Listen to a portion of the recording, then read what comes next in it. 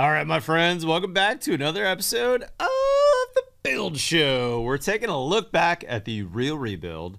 And at this stage in the build, uh, we're basically done with all the interior mechanical, so we're jumping into the drywall phase. So on this episode, we're gonna walk through the entire insulation strategy at my house. Uh, if you remember, or if you watched any of these videos, I used rock wool about 95% of my house. I did use some closed cell spray foam in a couple of key areas though. Uh, so we're going to review that. We're also going to spend a little bit of time going through the drywall phase. Uh, and actually, one thing I needed to do prior to drywall, which is really critical to make sure that you've got blocking in place. And then lastly, we're going to jump into the tile phase. You know, I used uh, both Schluter at my house uh, for the waterproofing, and I use clay imports for the tile pretty much everywhere. So we're going to spend a little bit of time in all those categories. That being said, today's build show from the Real Rebuild. Let's get going. The Real Rebuild, a Build Original series, is brought to you by James Hardie. This episode in particular, sponsored by Rockwool. Let's get going. Okay, y'all, before we jump into this episode, I do want to make a mention. You know, if you've watched the previous episodes, we've been giving you the abbreviated look back, and then we're also spending some time going back to my house and saying, you know, what has worked? What would I do differently? If you want to watch the entire every minute that I recorded over there, I actually have a great playlist called the Re, the Real Rebuild Matt's Personal House Build over on Build Show Network and YouTube. It's 54 videos. It's a lot of video time, but if you really want to go back and dig into the details, uh, that's where I'm pulling this footage from. Uh, also, I want to mention on this video, we're going to jump into uh, the insulation phase in a second, but in the insulation phase, I did some sound testing that we're actually going to go over to my house. We're in the studio now. We're going to jump over to my house and do some preview of. Uh, so, that being said, let's jump into today's episode and let's look at insulation. All right, guys, so first off, let's talk about the type of insulation that I used. As I mentioned earlier, this is rock wool batts.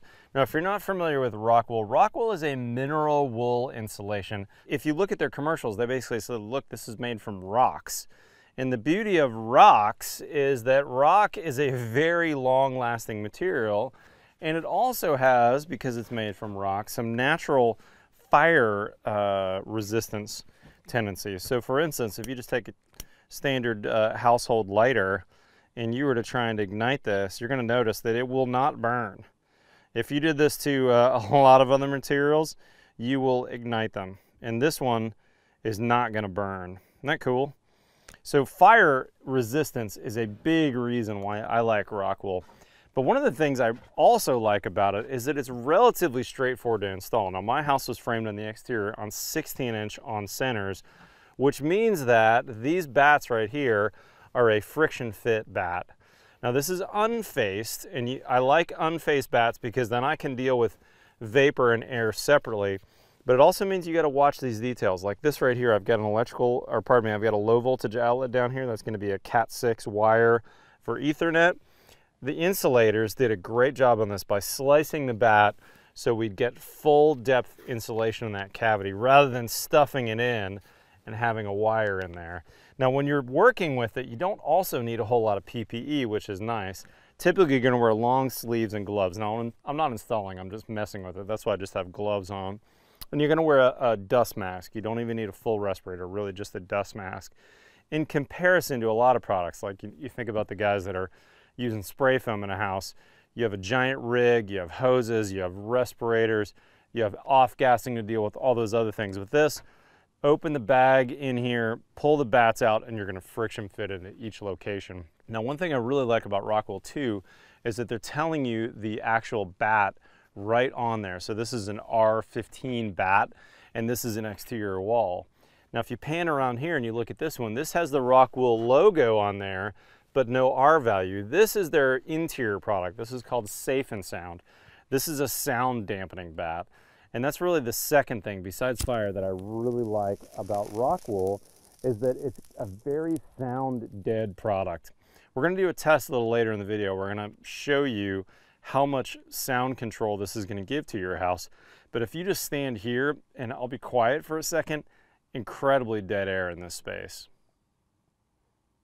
I don't know if we can get room tone on the sound, but super, super dead in here. And I actually have some guys working downstairs you can't hear them at all. And often I'll yell upstairs while this rock wool is in place, hey, what do you want for lunch? Or hey, come down, I got an appointment here.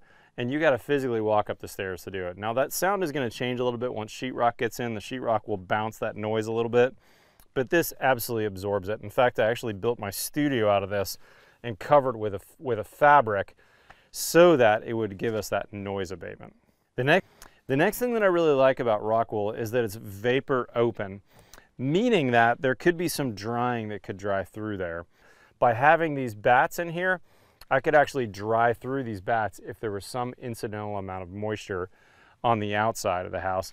That's a big deal for the northern builders who really want to make sure that there's drying both directions through their insulation. They don't want a vapor barrier in the wrong spot. The next thing that I want to mention about rock wool that I really like is that it's very remodel friendly. Now, a couple years ago, I went down to help after Hurricane Harvey down to Houston, and one of the houses that I mucked out was a house that had open cell spray foam.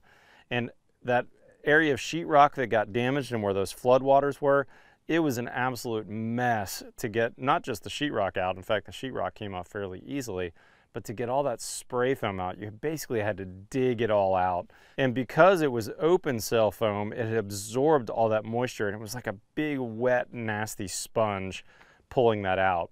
Now, on the other hand, one of the things I like about rock wool is that it's hydrophobic, meaning if we were to take a water bottle and drip some water down this batt right here, the water would run off like water off a duck's back. It's, it's not going to absorb that water. Okay, now we talked about seven pros. Let's mention three things that could be perceived as a con. The first one that I get all the time is, is isn't this itchy? You know, I don't find it any itchier than any other product on the marketplace. Wear gloves, put long sleeves on, and it's really no big deal. And the other thing I like about it is the fibers on this are very heavy and dense. And so when I'm walking around in a house like this that's been insulated, there's not particles in the air. In fact, if you kind of look at the sun's rays coming through the windows, you don't see particulate matter in the air. And I feel like some of the other, I don't want to say their names, but some of the other insulations that are out there in the marketplace, they do have some of that particulate matter that's as light as air and kind of floats around. So for instance, if I go in a standard attic that's been insulated on the flat with some type of blown in material, I, it's absolutely mandatory for me to put a dust mask on because with my dust allergy, it's almost triggered immediately when I go into that space. On the other hand, I've been in my house here under construction for a solid week and a half with this rock wool in, and I've had no problems at all. Now, I'm not installing it. Like I said, I should be wearing a dust mask if I'm installing it. But in this case, I've had no issues with my allergy for dust uh, triggering. It's a very heavy particle, and so it falls to the floor fast compared to the floating particles. And you're gonna notice that basically every interior wall of my house has rock wool. On these walls, you're gonna see the R value, and on these walls, you're gonna see their logo, meaning that's their safe and sound batts. And that's gonna be the last thing that I wanna mention here today is how to bid this project. If you've got insulation coming up, definitely ask for rock wool. Fantastic product. I mentioned all seven of those benefits that I think really set it apart from the competitors but it is more expensive sometimes than standard insulations. So don't just have them substitute. You actually want to ask for rock wool by name. And lastly, consider insulating all of your interior walls and potentially most of or all of your ceilings where you've got connected spaces. In my bedrooms, in my family room, in the rooms that are separating my bedroom, my master bedroom, let's say, from my living room, all those made perfect sense for me to do the safe and sound batts. And these batts are a little less expensive as safe and sound than they are the true insulation uh, batts on the outside of the house. So for a little bit more incremental money, a ton of benefit on sound. Hey guys, one other thing that I like about rock wool that I'd mention is I like that you can actually write on it. Let's say if I was hanging a TV on this wall and I needed to make a measurement, uh, I could actually use a Sharpie on here or Milwaukee markers, which I actually use all the time, and check it out. You can, you can draw on that insulation and it holds, it holds it real well, which means that it also takes paint really well, and this is incredibly useful for a builder. Check this out. This wall right here, actually didn't need to make this mark, but I do need to make this. This wall here is getting um, sheetrock and not quiet rock So I marked a bunch of my walls SR or QR. And look, that rock wool shows up perfectly with that orange spray paint and takes it really, really well. And that is a benefit for me as a builder. Good job, rock wool.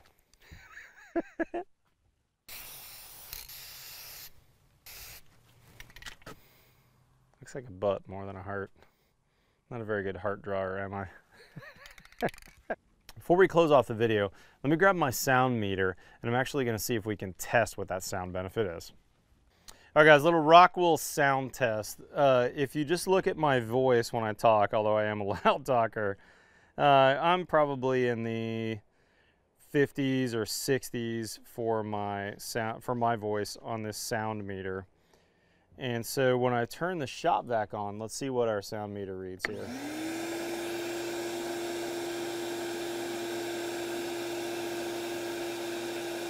All right, so it's about 75 decibels when we're a foot or two from it. Now let's walk up the stairs and we're gonna go to my daughter's bedroom, which is literally right above that shop vac. If you can look back to see where the shop vac is, we're gonna go directly above that room. And remember, we don't have any sheetrock installed. We don't have any uh, interior doors in place. Okay, so I'm still line of sight on the shop vac, but I'm, you know, a solid 15 or more feet away.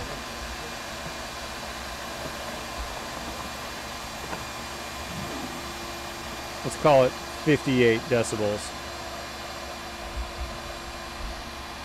Now let's go up the stairs and we're gonna hang a right into my daughter's bedroom. Now that's directly below us. Remember there's no doorways in place. I've got the Rockwool safe and sound on my I-joist I've got some sound batts in her walls. Let's see what the meter says now.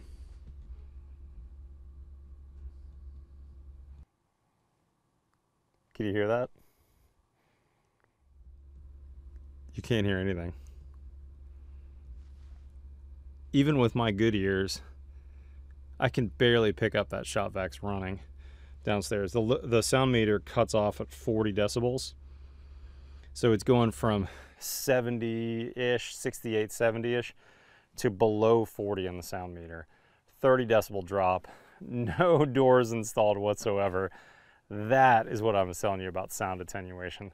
Okay, two years later, let's redo the test. Now that the drywall is up, I think this is the exact same shop vac, although the hose looks new. Let's plug this guy in. I've got my Champion portable generator. This is, by the way, a battery operated guy, so we can run it in the house.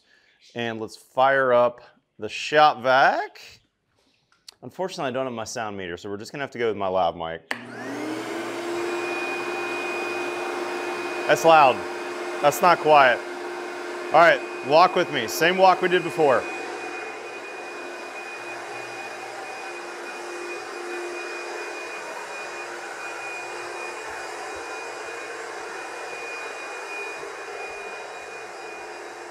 Okay, top of stairs where I stopped before. You can still hear it, obviously, almost as loud as before.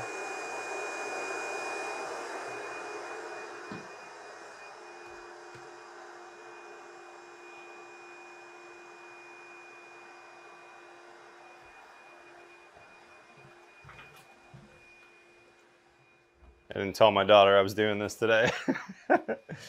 okay, so doors open, we can still hear it.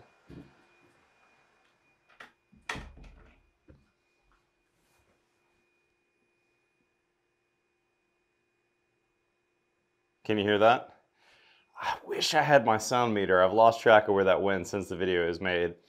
I can still definitely hear the noise. That drywall is bouncier than the dead air of the Rockwool. But I gotta tell you, this house has been super quiet. My wife and I all the time are yelling upstairs with the kids for dinner. They don't hear us, so this house has been amazing. Now, however, this is a good sound advice though, a good soundproofing advice. My undercut of my door is pretty small. I think probably a half inch maybe. That's where all the noise is coming through. Solid core doors, the walls, nothing's coming through. The floors, nothing coming through. It's all about this airspace right here. So if you are trying to do a soundproofing job, you really want to seal up your doors to the outside. And remember, that also means that you're going to need both a supply and a return out of the space. So if you look at this register right here, this register is clean.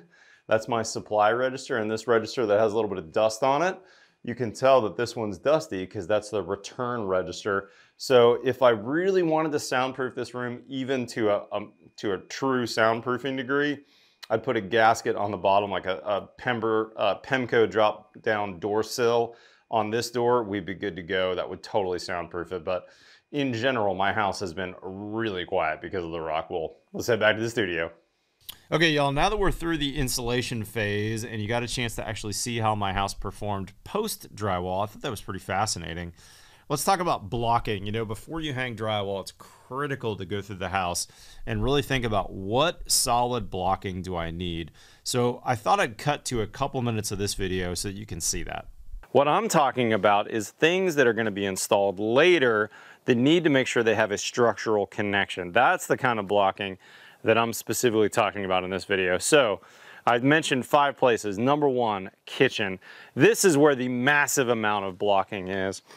Now, the first thing I would tell you would be talk to your cabinet maker and verify where they want the blocking on the house. My countertops are a little bit higher than most. The top of my counters are actually gonna be 39. And so you'll notice that the top of my blocks is from 39 on down, which means that my base cabinet is gonna get screwed in right here. The base cabinets are gonna have a ledger on the back that they're gonna screw in. So I place mine at 39 and below. My upper cabinets on the house, most of the time uh, in an eight foot or a nine foot ceiling situation are gonna go to the, to the ceiling and that's the case here. I've got nine foot ceilings. You're gonna see I've got a two by six that I sunk all the way up. But I also wanted some support at the base of that upper cabinet because I've got some backsplash and a little countertop here so this cabinet, you need to, or this block I should say, you need to verify with your cabinet maker where that's going. So if you look at mine, the base of mine is 52 down from the ceiling, or actually it probably makes more sense for me to think about it this way. I've got 39 inch uh, countertop height, and then typically you're gonna have around 18 inches, let's say, of backsplash. And then from there on up is where you're gonna need that blocking so that you can get it. And that's basically where my under counter low voltage light is stubbed out as well. So if you look at my kitchen, you pan this, you're gonna see all those lower blocks. There are a couple places where I wasn't able to install them because I had some utilities. Don't worry about that, but make sure you get a good picture of these walls. And this is kind of a side tip, a bonus for you, if you will. Make sure you take pictures of all those special places where you're adding blocking so that you can print those out. They don't need to be anything special, just black and white. And that way your carpenter, your cabinet installer, whoever knows what's going on in that wall. That's really a great way to go, especially when you think about things like this. I've got this pipe right here, which is venting my kitchen sink. That pipe is coming straight up and then going all the way over. You're gonna see a bunch of stud shoes in the way. This is gonna be harder to install cabinets. Now these happen to be uh, just about below where my blocking needs. So I'm able to make that. And in fact, I talked to my cabinet maker, David, uh, who's installing my crystal cabinets with benchmark cabinetry pretty soon. Two types of blocking. I mentioned this earlier in the video. Most of the places I'm gonna use two by material and I would highly recommend you go as, as wide as possible, but get this out of the trash pile. As I'm in construction, often when I talk to my framer, I'm gonna say, hey, store those two by six, two by eight. If you have any two by eight, uh, two by 10 or 12s, store those in a spot so you can cut those up for blocks later. But there's also a few places where, for whatever reason, I may not be able to get a full two by in there. Some three quarter plywood works great. You probably have seen these before. This is a pocket screw. Kreg makes a great jig. You're just gonna screw that, uh, or drill that out rather, drop a screw on there. Now we've got a nice three quarter plywood in there. Okay, number three, stairwells. Unfortunately, I missed this. I should have probably shot this video earlier in the day before the sheetrock guys got here. But let's talk about stair codes. I need to have a handrail on my stair codes, and those handrails are needing to be um, blocked for. And what I want is 32 inches off the finished tread. Oops, let me drop my tape back on there. So in this case, if I were to drop a screw right here at 32 off the finished tread, but I need to add three quarters, so my tread, 32 and three quarter, that's where I need a block. And I'm also gonna to want to do that at, at least at the midpoint, sometimes on the third points as well. And that's gonna be horizontal blocking. Actually, you can see just a little bit up there at the top of the stairs. But I forgot to mention this. Let me grab my story pole.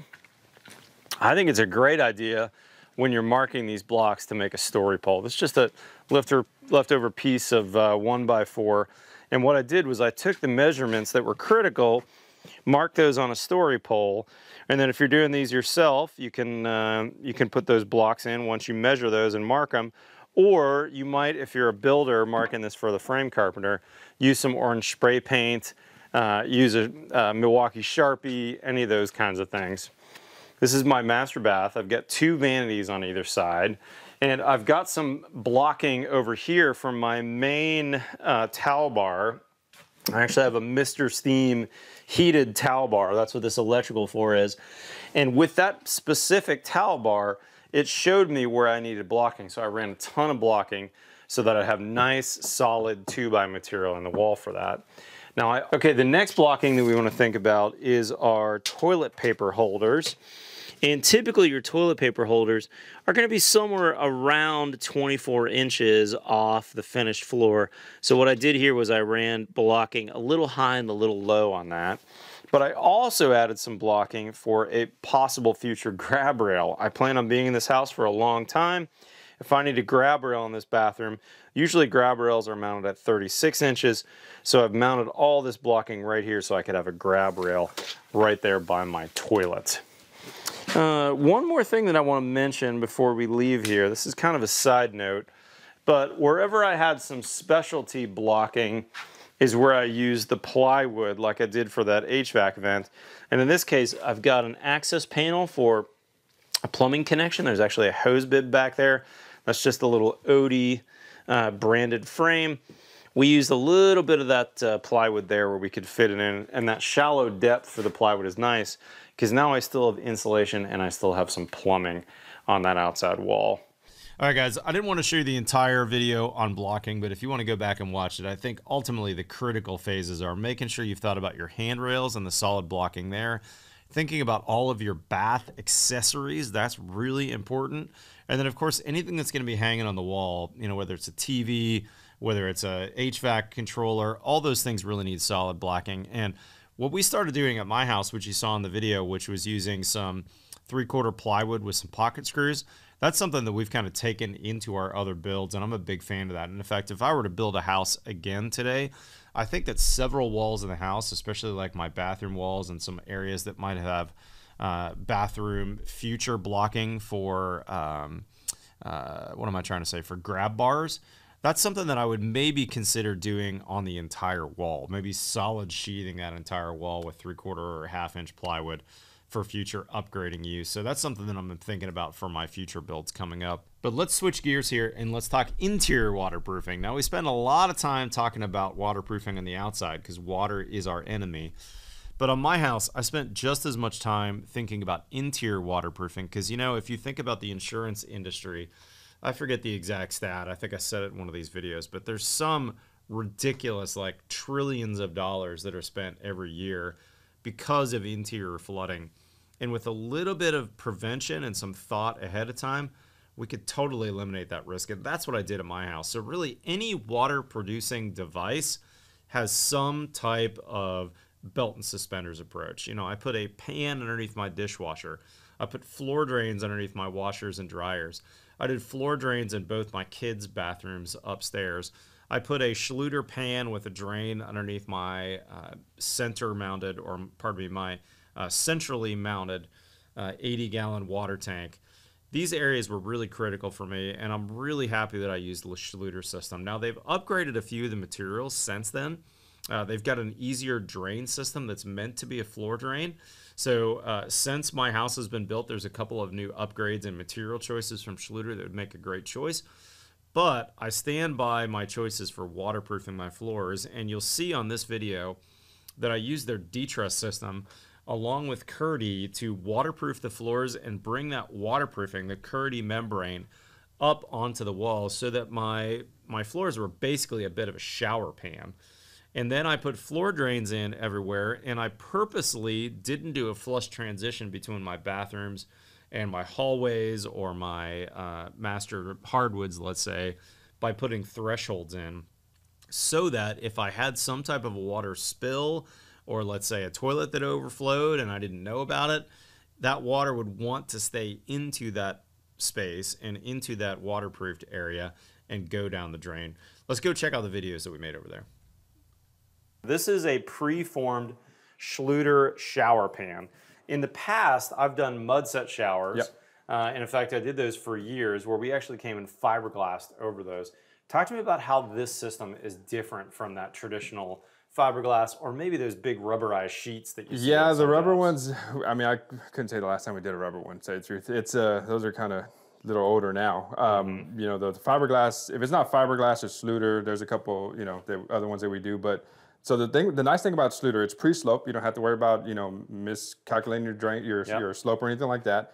Um, and the system all ties together. That's the best part about it. I mean, it's. I think know, that's that's the big yeah, it, it all ties together. They literally have a solution for every problem we run into, and it's it, you know it's just really smooth install. We know what we need to get for the shower that we're installing, and it's all one pickup at the shop, bring it here, one install, and it's you know it cuts back days of install really. Love it, Joe. Yeah. Okay, so in this case, we're doing a zero threshold shower. We actually put a threshold in just to test this for city purposes. My city inspector wanted me to test the shower pan. So Joe and his guys put this in uh, prior to my rough-in inspections. That's not my preference. I would prefer not to do it then. Yeah. This material is better off uh, to finish the waterproofing to go right to the tile. Yep. But we had to leave it, so that's why we've got a couple of small dents or dings that we're gonna need to fix before we move on.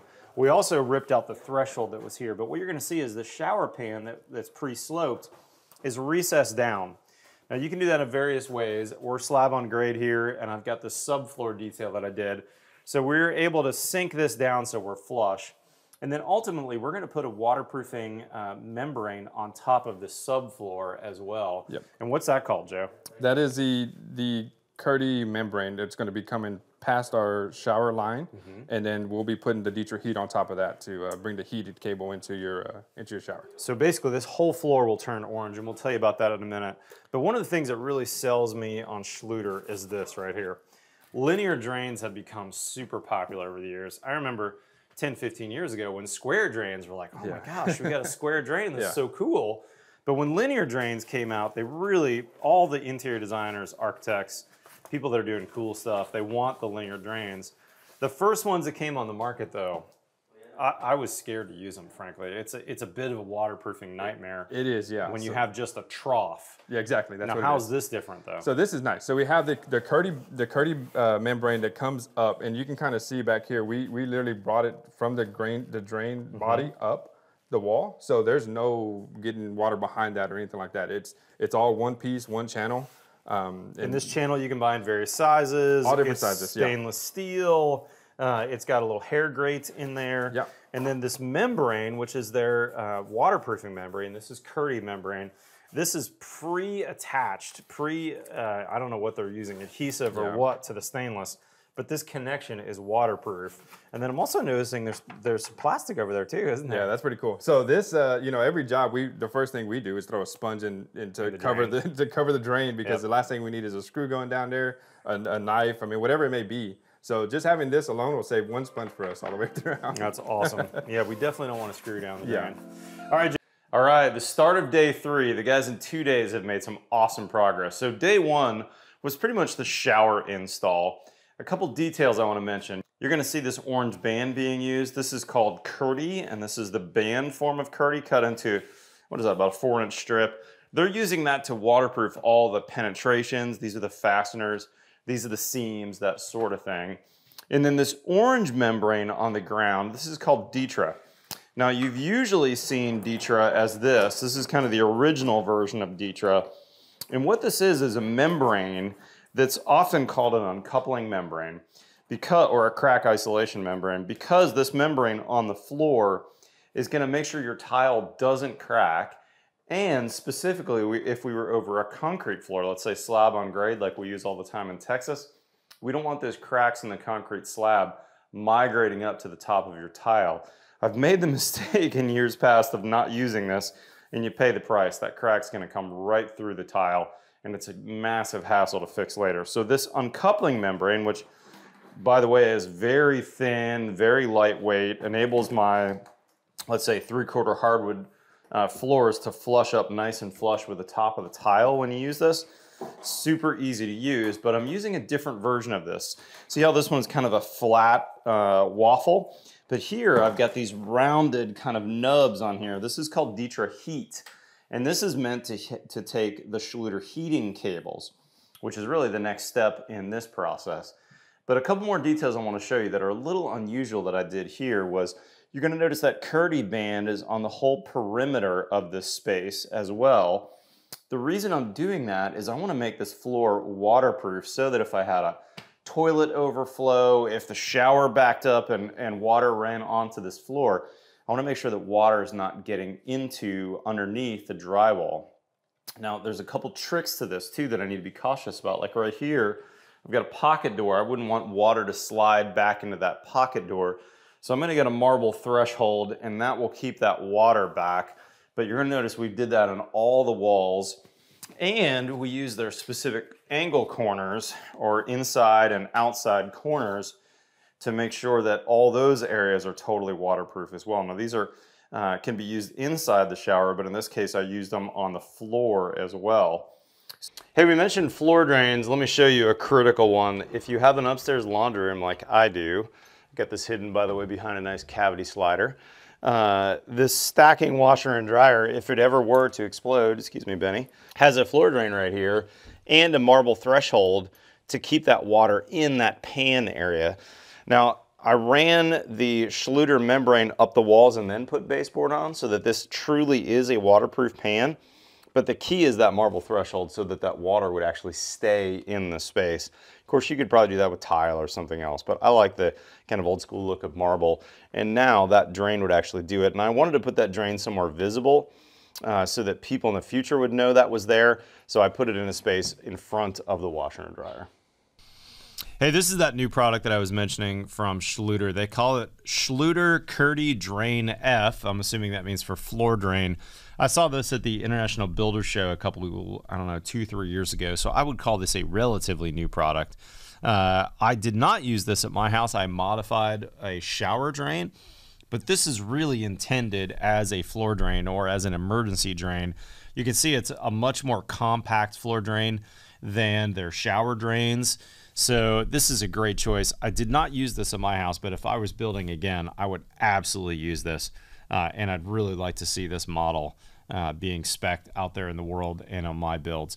Anytime you've got a second story washer and dryer, anytime you've got uh, kids' bathrooms, I think floor drains are really a great way to go. And I, I'm not sure if I said it in the video, but just to mention again, my plumbing inspector made me put a trap primer into my uh, floor drains because he was worried that they would evaporate and would start smelling because they're tied into my sewer system.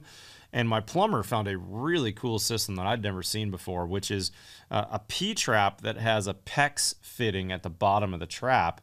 Uh, I take that back, not at the bottom of the trap, towards the top of the trap, so that uh, every time I use a kitchen sink, that P trap that gets wet from the not kitchen sink, every time I use a sink nearby, I should say, that trap has a little bit of water in it and it dribbles into my floor drain trap so they're kept wet.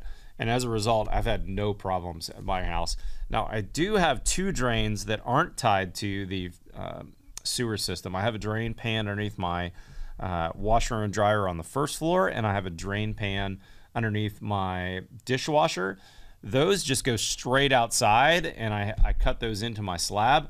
So in that case, I put an extra good uh, I guess bug screen or rat screen on the outside, and then I filled those traps with mineral oil. But the other drains in my house that were actual floor drains tied to the sewer system, we've got a trap with a trap primer, and it's a automatic system that basically anytime that sink nearby has water in it, a little bit of water is flowing to that trap. So very very cool system. All right, guys, thanks for hanging with me at the Real Rebuild. I think some of these phases that we talked about today are really critical phases, especially when it comes to uh, both insulation and interior waterproofing. So I appreciate you guys uh, and all your support out there. It's been really fun to re look back at my house. We're almost to the final episodes where we're really going to get a full view of my finished house and we're really going to look and see how the finishes and the hardware and everything's been holding up. So stay tuned for that. We're just a couple of episodes away. With that being said, guys, follow us on TikTok or Instagram. Otherwise, we'll see you next time on The Build Show.